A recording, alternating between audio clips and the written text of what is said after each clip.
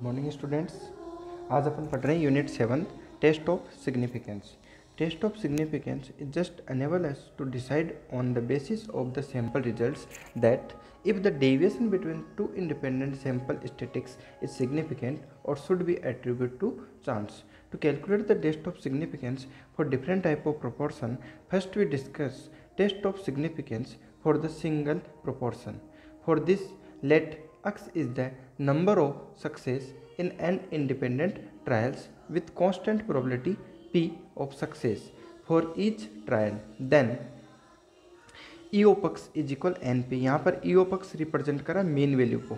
Then mean value of binomial distribution is taking N P here we consider that N is very large and variance of X is equal N P Q where Q is equal 1 minus p. is the probability of failure.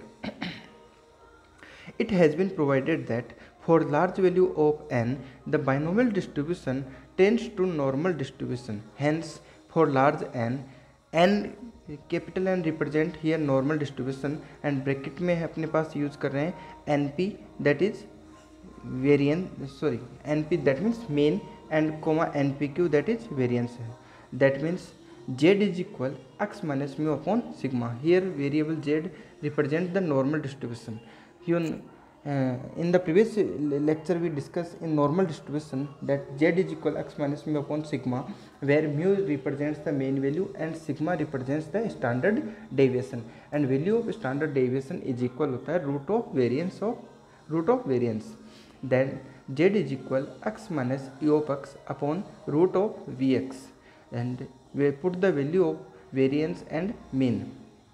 Now z is equal x minus np upon root of npq which is tends to normal distribution bracket में 0 comma 1 where 0 represents the mean value and 1 is the standard deviation. And we can apply the normal test. Note in a sample space of size n let x be the number of persons possessing the given attribute then observed proportion of success is equal x by n which is equal to p small p and the mean value of small p which is represented by e of p which is equal to e of x of n and we know that 1 upon n is constant then we take it out 1 upon n e of x and value of e of x is equal होती है N P then N से N क्या हो गया cancel out और equal to क्या आ गया पी वैल्यू आ गई Thus, the sample proportion P gives an unbiased estimate of the population proportion P. Also, V of P that means variance भी calculate करेंगे for small p variance of small p is equal variance of x by n and in variance we take it out 1 upon n square of v of x because variance किसको represent करता है आपका second moment about mean the which is equal to होता है summation probability of X minus X bar का whole square that वो square की वजह से अपने पास यहाँ पर क्या वैल्यू आ रही है? वन अपॉन एन स्क्वायर आ रहा है। One upon N square V of X and then one upon N square V of X की वैल्यू कितनी होती है? एन पी क्यू पुट करने पर अपने पास जो वी ऑफ़ पी आएगा, वो आएगा P Q upon N and standard deviation क्या होता है? मैंने बताया था आपका root of variance then root of V of P and sigma is equal कितना हो गया? Root of P Q by N the normal test for the proportion of success becomes Z is equal यहाँ पर एक्स की value कितनी हो गई? स्मॉल पी हो गई। तो जेड इज़ इक्वल कितना हो गया? P minus E O P upon sigma then Z is equal small P minus E O P की वैल्यू कितनी है? कैपिटल पी है। अपॉन सिग्मा की वैल्यू आपने अभी देखी ऊपर इक्वेशन नंबर थर्ड में देखो root P Q by N then the probable limit for the observe proportion of success are E O P plus minus three sigma. That means E O P की value हमने calculate की थी capital P plus minus three root of P Q by N root of P Q by N किसको represent करा? Sigma that means standard deviation को represent करा। और यहाँ पर जो वैल्यू हम थ्री यूज़ कर रहे हैं, वो एक्चुअल में है क्या? वैल्यू ऑफ़ जेड है, जो अपन डिस्कस करेंगे अभी आगे। Let capital P is not known then taking small P as estimate of P the probable limit for the proportion in the population are हमें अगर क्वेश्चन के अंदर कैपिटल पी डिफाइन नहीं है तो हम जो अपने पास स्मॉल पी जो वैल्यू है, उसको कंसिडर कर सकते हैं for the proportion then small P plus minus three root P Q by N the limit for P at level of significance alpha are given by P plus minus Z alpha root P Q by N where Z alpha represent the significant value of z at level of significance alpha. In particular कुछ cases में अपन discuss करें that 95 percent confidence limit for P are P plus minus one point nine six under root P Q upon N and 99 percent confidence limit for P are P plus minus two point five eight root P Q by N यहाँ पर आपने देखा, देखो 1.96 value आ रही है, कई जगह आ रहा है 2.5 एट आ रहा है और हमने एक जगह यूज़ किया थ्री वैल्यू ये वैल्यू किसकी आ रही है? ये वैल्यू जेड एल्फा की अपन कंसिडर कर रहे हैं। तो जेड एल्फा अपने पास कहाँ से आएगा? देखो, आपने नॉर्मल डिस्ट्रीब्यूशन पढ़ा था। नॉर्मल डिस्ट्रीब्यूशन की मैंने जो पीडीएफ फ़ाइल आपको भेजी थी, उसके अंदर आपको मैंने एक टेबल भेजी थी जेड की।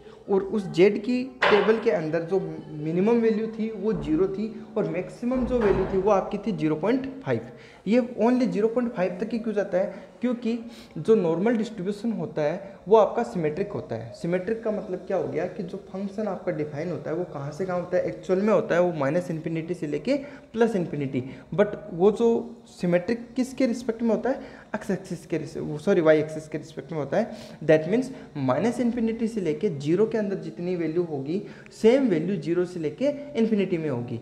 तो ज़ीरो से इन्फिनिटी तक के जो पार्ट होता है, वो अपने पास जेड का वैल्यू डिफाइन करता है। तो ज़ीरो से इन्फिनिटी के अंदर जो प्रोबेबिलिटी होती है, वो होती है हमेशा ज़ीरो पॉइंट फाइव तो रिमेनिंग जो प्रोबेबिलिटी है ज़ीरो पॉइंट फाइव वो कहाँ है? माइनस इन्फिनिटी से ज़ीरो है. तो ओवरऑल प्रोबेबिलिटी कितनी हो गई? माइनस इन्फिनिटी से प्लस इन्फिनिटी वन हो गई, जो हमेशा वन ही होती है. तो ज़ीरो पॉइंट ज़ीरो से लेके इन्फिनिटी के अंदर जो जेड की वैल्यू होती है वो ज़ीरो पॉइंट फाइव होती है, वो कहाँ कवर हो जाती है, वो मैं बताना चाह रहा हूँ. वो होती है आपके ज़ीरो से लेके और maximum three point one one यानी जेड की वैल्यू मिनिमम ज़ीरो से लेके और थ्री पॉइंट वन वन तक अपने पास ninety nine point nine nine percent अपने पास से उसकी प्रोबेबिलिटी कवर हो जाती है। और रिमेनिंग जो पॉइंट ज़ीरो वन प्रोबेबिलिटी होती है, वो आपकी एंड ऑफ़ द इन्फिनिटी तक चलती है। तो अपने पास जो जेड की जो मैन वैल्यू है, वो कहाँ कंसिडर होती है? ज़ीरो से लेके वो थ्री पॉइंट वन वन तक के अंदर कंसिडर होती है। तो जेड अल्फ़ा की इसीलिए हमने जो वैल्यू ली थी, वो आपने कितनी ली है? थ्री ली है। यहाँ पर देखो small P plus minus three root P Q by N ली है। तो इसी में जो 95 परसेंट बोल रहा है 95 परसेंट का मतलब ये है कि जो जेड की वैल्यू अगर अपन 1.96 कंसिडर करते हैं तो जो प्रोबेबिलिटी आती है, वो आपकी कितनी आती है? 95 percent of point five ninety percent of point five के इक्वल आती है। और अगर अपन 2.5 पॉइंट एट वैल्यू कंसिडर करते हैं तो जो अपने पास जो वैल्यू आती है प्रोबेबिलिटी की, वो पॉइंट फाइव का 99 परसेंट कंसिडर करती है। यानी कॉन्फिडेंस लिमिट का मतलब क्या हो गया कि जो आंसर आएगा आपका, वो 99 परसेंट क्या आएगा? एक्यूरेट आएगा। इसको देखने के लिए अपन एक एग्ज़ाम्पल कंसिडर करते हैं। Let random sample of 500 pineapples was taken from a large consignment and 65 were found to be bad देखो, यहाँ पर अपने पास टोटल नंबर ऑफ़ पाइनएप्पल कितने हो रहे हैं सैंपल में? 500 तो एन की वैल्यू कितनी हो गई? 500 हो गई। Was taken and a consignment and 65 were found to be bad तो जो बेड हैं वो अपने पास क्या है नंबर ऑफ़ एक तरीके से अपने को जो वेरिएबल अपने लिए, वो क्या हो गया? अक्स हो गया। X is equal number of bad pine in the sample कितने हो गए? 65 हो गई तो स्मॉल पी आपको अभी बताया था मैंने प्रोपोर्शन निकालने का तरीका अक्स बाई एन होता है। तो P is equal proportion of bad pineapple का प्रोपोर्शन अगर अपन देखें कि भाई 65 कितने में से आ रहे हैं? 500 में से आ रहे हैं। तो अपन एक्स बाई एन यूज़ करते हैं। तो स्मॉल पी कितना हो गया आपका? 65 फाइव अपॉन फाइव और इसको कैलकुलेट करने पर अपने पास वैल्यू कितनी आ रही है? ज़ीरो पॉइंट वन थ्री अब ये अगर स्मॉल पी आ गया तो क्या स्मॉल क्यू निकाल सकते हैं? निकाल सकते हैं। स्मॉल क्यू कितना होता है? वन माइनस पी होता है। तो अपन क्या करेंगे? Small Q is equal one minus P कर देंगे। तो वन माइनस पी करते हैं अपने पास वैल्यू क्या आ जाएगी? स्मॉल क्यू की पॉइंट एट सेवन आ जाएगी। Since P the proportion of bad pineapple in the consignment is not known यानी अपने को जो प्रपोर्सन है कंसाइनमेंट का, वो खुद को नॉन नहीं था। हमने कैलकुलेट किया किससे किया? बाई स्मॉल पी वो क्या रिप्रेजेंट कर रहा है आपको? एक्स बाई एन से। तो यहाँ पर जो कैपिटल पी है, वो किसके इक्वल हो गया? स्मॉल पी के इक्वल हो गया। और जो कैपिटल क्यू था, वो किसके इक्वल हो गया? स्मॉल क्यू के इक्वल हो गया। तो स्टैंडर्ड डेविएशन का फॉर्मूला आपने पढ़ा था। Under root capital P capital Q upon small N पढ़ा था। लेकिन यहाँ पर पी और क्यू किसके इक्वल हो गए? स्मॉल पी और स्मॉल क्यू के। ये चीज़ मैंने आपको अभी नोट्स में भी बताई है। तो उसके अकॉर्डिंग सिग्मा की वैल्यू क्या आ जाएगी? P Q upon N P की वैल्यू आपने निकाल ली क्यू की वैल्यू आपने निकाल ली एन आपको दिया हुआ है। कैलकुलेट करने पर कितना आया? पॉइंट ज़ीरो वन फाइव आया which is nearly to point zero one six ये ऐसा क्यों लिखा है? ये देखो यहाँ पे। क्वेश्चन में देखो। कि a large consignment and sixty were found to be bad so that the standard deviation of the proportion of bad one in a sample of this size is point zero one six यानी ये कह रहा है कि आप prove करके बताओ कि स्टैंडर्ड डेविएशन कितना आएगा? पॉइंट ज़ीरो वन सिक्स आएगा। तो हमने जब स्टैंडर्ड डेविएशन कैलकुलेट किया तो अपने पास जो वैल्यू आई वो कितनी आई? पॉइंट ज़ीरो वन फाइव आई। और ये कह रहा है कि प्रूव करो कि वो कितनी हो? पॉइंट ज़ीरो वन सिक्स हो। तो, तो ये ऑलमोस्ट इसके क्या आ गई? इक्वल आ गई। आगे इसने क्या पूछा है कि and deduce that the percentage of bad pineapples in the consignment almost certainly lies between 8.5 and 17.5 देखो, ये जो कैलकुलेट करवा रहा है 8.5 और 17.5 के बिंड में, ये आपका क्या कहलाता है? टेस्ट ऑफ़ सिग्निफिकेंस कहलाता है कि इसका प्रोपोर्शन कैलकुलेट करो कि किस डेविएशन के बीच में लाई करेगा। यानी कहाँ कहाँ, कि, कौन से एरिया के अंदर ये लाइक करेगा? तो वो चीज़ अपने इसको कैलकुलेट करते हैं तो वो कहलाता है आपका टेस्ट ऑफ़ सिग्निफिकेंस अब अपने को प्रूव करना है कि जो इसका सिग्निफिकेंस है टेस्ट ऑफ़ सिग्निफिकेंस यानी इसका प्रोपोर्शन की ये जो बैड पाइन का जो है, ये कहाँ लाई करेगा कंसाइनमेंट में? कौन से परसेंटेज में आएगा? कि यानी कितना प्रोपोर्शन हमेशा बैड पाइन आएँगी? ये प्रोपोर्शन अपने को कैलकुलेट करना होता है और उसका सिग्निफिकेंट वैल्यू अपने को फाइंड आउट करनी होती है। वो सिग्निफिकेंट वैल्यू फाइंड आउट करने का तरीका अपन देख रहे हैं। अभी अपने जो नोट्स में पढ़ा उसके according hence the limit for the proportion of bad pine in the consignment are small p plus minus three root p q by n यहाँ पर देखो जो थ्री लिया है, इसका मतलब क्या कि वो हंड्रेड परसेंट उसकी एक्यूरेसी बताएगा. जैसे इसमें टू पॉइंट फाइव एट अगर थ्री थ्री की जगह two point five eight use करते तो अपने को कितना बताता? नाइन्टी नाइन परसेंट बताता. हमने थ्री लिया, इसका मतलब वो ninety nine point ninety nine percent बताएगा. और अगर अपन पूरा 3.11 कैलकुलेट करते हैं एग्जैक्टली लेते तो यहाँ पर अपने को 100 परसेंट सिग्निफिकेंट वैल्यू देता।